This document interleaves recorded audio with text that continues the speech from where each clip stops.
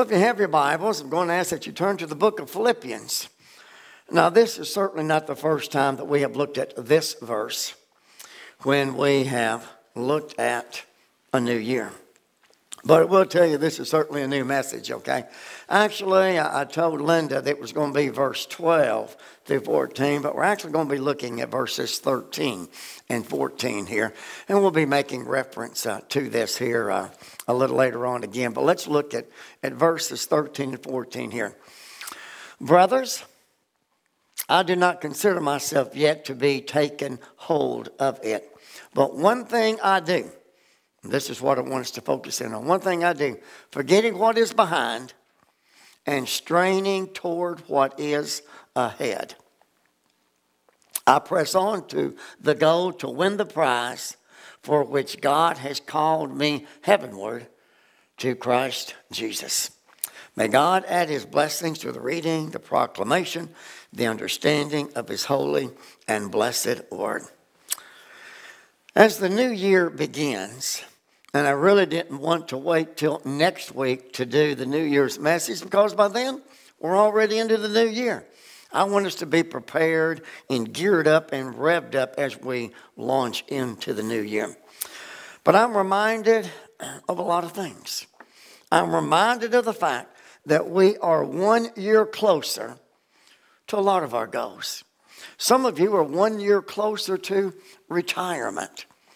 Some of you are one year closer to hopefully that promotion that you've been working toward and longing for. Some of you one year closer to being a daddy or a mother or grandparents. Some of you are one year closer to being a husband or a wife. And we can look at our own lives and see where we're one year closer to a particular goal. But you're also one year closer to our day of death. We are one year closer to the day the Lord returns. We are one year closer to the day that we will all stand before the Lord on that judgment day. That is the day when He will say to us, Come, you, blessed of my Father, come now and inherit the kingdom I have prepared for you. Or he will say, as Matthew records in the 25th chapter, Depart from me, you workers of iniquity.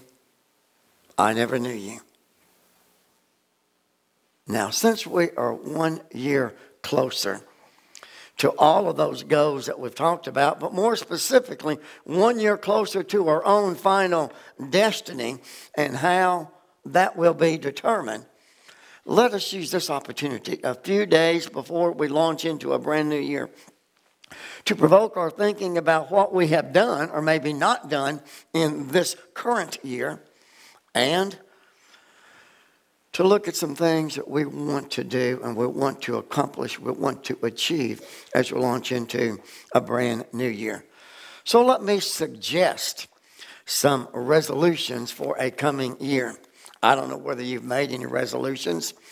I've heard many people say, I just don't make resolutions anymore because I can't keep them. Why make them if I can't keep them? I do think that making resolutions, particularly from our spiritual standpoint, is very good. I think it's important. But it's much more important for us to be able to keep those resolutions that, that we make. And my goal here today is to encourage us to better use our time in all that we do so that we can be a greater witness and be more effective for the cause of the kingdom in the Lord's work. I want our lives to count. I want my life to count for something. I think you, you want your life to count for something that's good and wholesome and something that will bring glory and honor to the Lord. Okay, so let's consider this. Has our relationship with the Lord improved in this past year? Has it improved? I really can't answer that for you. You are the one that can best answer that. Has your relationship with the Lord improved in the past 360 whatever days it is right now? Have you drawn closer to the Lord? Now, you need to bear in mind that a close relationship depends on good communication. That's true with anything. A close relationship depends on good communication. So, how good have I been? I'm asking you to ask the same question. How good and faithful have you been in listening to God through His Word, through the various ways that He speaks to us? Another year is fastly slipping away. How much time? How much time have we honestly spent in God's Word in this past year? How seriously have we taken our relationship with the Lord? What about, what about a prayer life? How steadfast are we in communicating with the Lord and talking to Him? Those are things we need to consider. Because chances are, we talked about being good and being better and more faithful and more committed a year ago. So now let's evaluate. Where are we? 360 something days down the road. See, I believe that any effective communication requires a two way street. That's true in any relationship. It's certainly true in our relationship with God. If we talk about praying to God, and you've heard me say this many times in other ways, it means that we need to be open minded, having our ears and our hearts and our mind open so we can hear God when He speaks to us. So remember, any effective communication is a two way street. It's not just us talking to Him, it's us listening as He talks to us. What about our relationship with our fellow brothers and sisters here in the church, in the community of faith? Has that improved in the past year? Has your relationship with one another increased? Are we closer in our fellowship with other people here in the church than we were a year ago? Have we reached out to others? There's a lot of different needs, a lot of needs right here in our, in our church. Have we reached out in helping others meet those needs or to be a blessing to others as, as the right doors have opened up for their needs to be met? So every year, every year, every year we have new people that join the church. And, and hopefully, and I always hesitate to say this because it seems like it doesn't happen if I say it, but that's supposed to happen in 11 o'clock service this morning. Somebody based upon his profession of faith is going to come and join the church. But in the past year, we've had a quite a bit. Have you gotten to know those people? If we put all the people that we've had join this year in front of, how many of you would know their names? See, that's always been important to me. And I can remember way back when I was in college, it was important to me to go table hopping in the dining hall. I wanted to get to know those people. People say, well, I just do that all the time now. I've always done it because getting to know people has always been important to me. Getting to know people in the body of Christ, in the family of faith, is important because when you get to know them, you get to know their needs, you get to know um, the, the positive things that they have to offer. There's a world of good in getting to know other people. Have we gone the, the extra mile in getting to know them? And then what about our relationship with others out there in the world? You know, with um, the WWW now, oh, we can communicate with virtually anybody all across the world. And as people of God, as people of faith, we have a very important responsibility to those in the world. That's what the Lottie Moon Christmas offering is all about. In our missionary emphasis in helping others come to a saving knowledge of Jesus Christ. And we are to be a positive influence. Jesus told us that we are to be the salt of the earth. And we are to demonstrate a better way. You are to be the light of the world. So, have we made progress this year in developing meaningful relationship with people in the world? By that, I mean, have we been the light uh, of Christ that others can see living in and through us? Have we been the salt of the earth? Are we sharing the gospel and communicating that with others far beyond the perimeters of our building or here in our community? Or are we just like a lot of neighbors these days, in this day and time? When I was growing up, and I'm sure it's true for many of you, when you were growing up, you knew all of your neighbors. You spend time with them. Most people today don't even know their neighbors. They don't spend time getting to know. We have lost that southern hospitality touch. I think it's important to be a people person in getting to know each other. So, another year, another year's come and gone. Have we made good use of our time? The time that the Lord has given us? Or do we look back over the pages of our life and see where, wow, I wasted that day, I wasted that hour, I wasted that week. Things I could have been doing, should have been doing, maybe wasn't doing. Now, as we look at that passage of Scripture that we just read from a few minutes ago, pressing toward the mark of the high calling, and, and there's things I want to put back in my past. To be honest with you, I'm to some extent, I'm glad I am where I am. I'm at the end of the year. I want a fresh new start. I want to write something good, something positive, something wholesome, something that will glorify God in the pages of my life. Because right now, it's just like yours. It's all pure, it's all white, it's all clean. But time will tell what we write in the pages of our life. Our life is a lot like a diary. And you may not keep a diary physically and writing things down, but our life really is a diary. So, when I look at that passage there, let me suggest some positive resolutions. First of all, let's resolve to draw nearer to God in this new year. And you may have done that this year. You may very, be very pleased with the progress that you've made. But we can still draw near to God in this new year. I think we do that by being right where you are today in worship. Now, now let me say something. One thing that I really admire about my years in the Catholic Church, and I guess it's still true right now.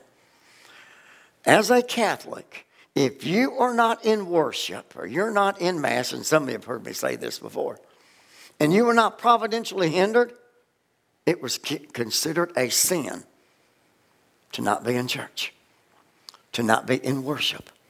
We don't look at that as being a sin. So many people wake up on a Sunday morning, I'm convinced, I say, you know, I've heard Milkweed three times this week. I don't want to hear him again. I got something better I want to do.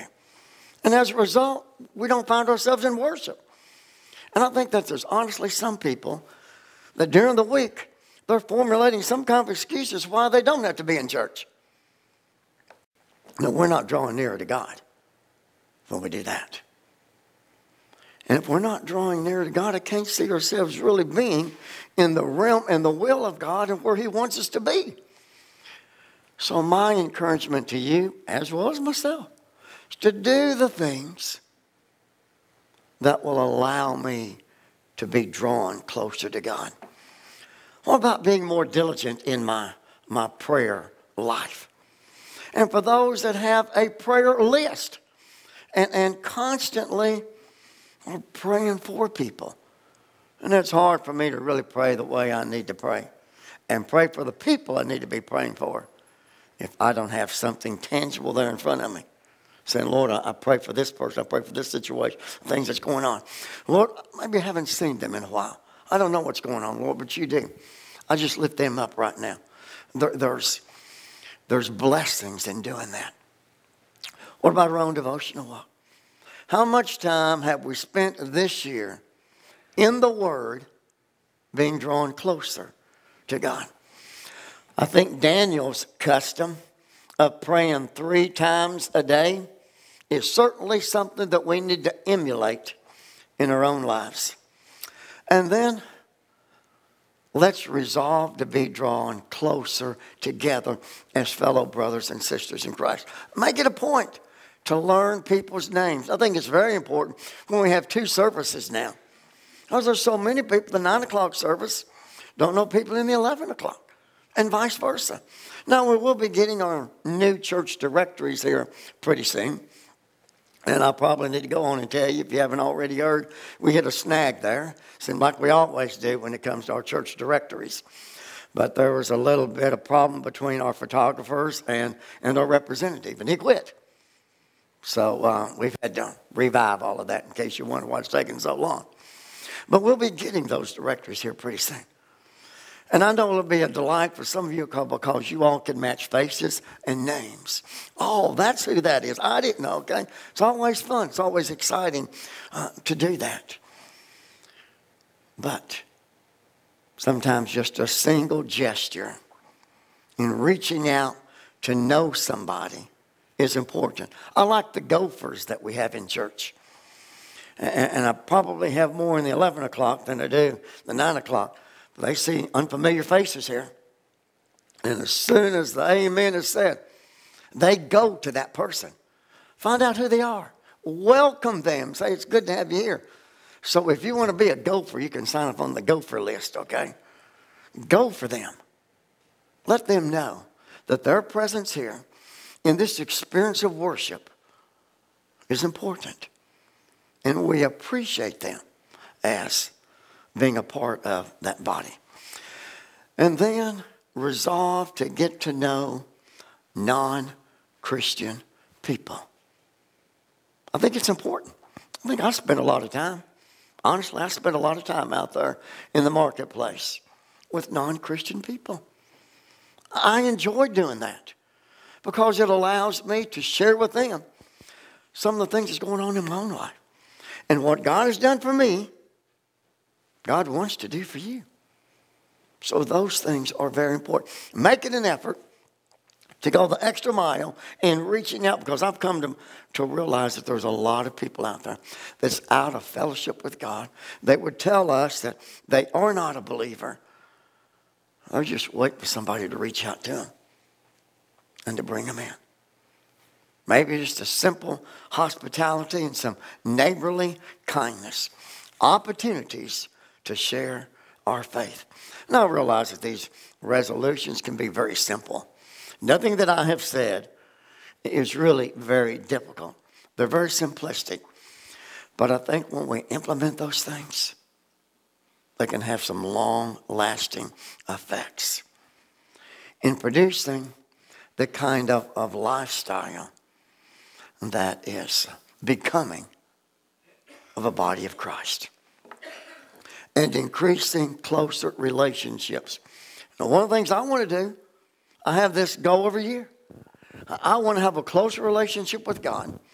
I want to have a closer relationship with my fellow brothers and sisters in Christ. And I want to have, that's my, my, not my stomach growling, okay? Not sure what that is. This mic is very sensitive and it would pick up stomach growling, but that's not what that is today, okay? All right? Um, and I want to have a closer relationship with lost people. Otherwise, I'm just having uh, a social party. And I think God calls us to go beyond that. And doing these things will bless our lives. And we can be a blessing to the church. We can be a blessing to the community. We can be a blessing to the kingdom of God. Time. Time is a very precious commodity. Remember a few years ago on a New Year's Eve sermon, I went through all the hours and seconds that we have in a year's time. And when I think about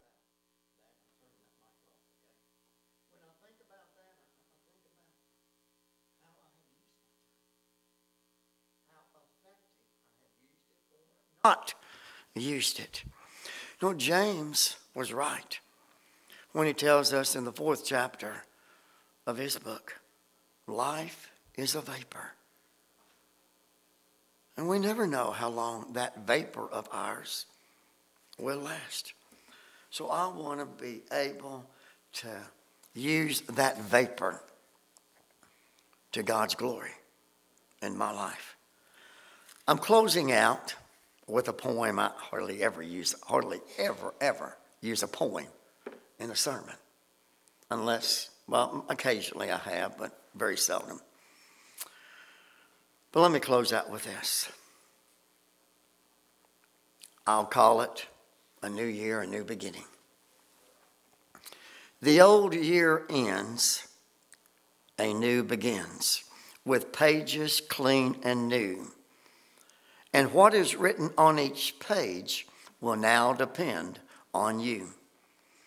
You cannot relive the year that's past, erasing every wrong. For once a year or day is spent, it is forever gone. But don't give up in dark despair if you have failed some test. Seek God's forgiveness and resolve henceforth to do your best. Resolve each precious day to do things good and kind and pure. Though days and years may pass away, these things shall still endure. You know not where your path may lead, nor what's behind the hill, but know that God walks at your side if you will do his will. All things are possible with God, though days be bright or dim. So do your best and know that you can leave the rest to Him. Just like that passage told us there that we looked at in Philippians. I can't go back and erase the things that I'd like to erase in my, in my life, whether it be this year or any year in the past.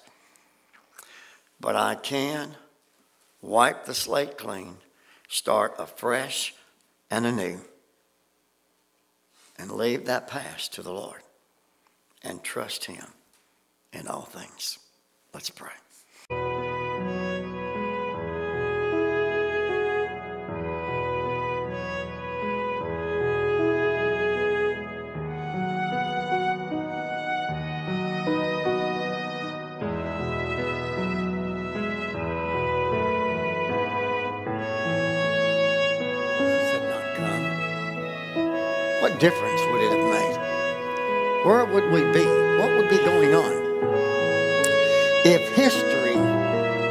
Was rewritten, how would it have been?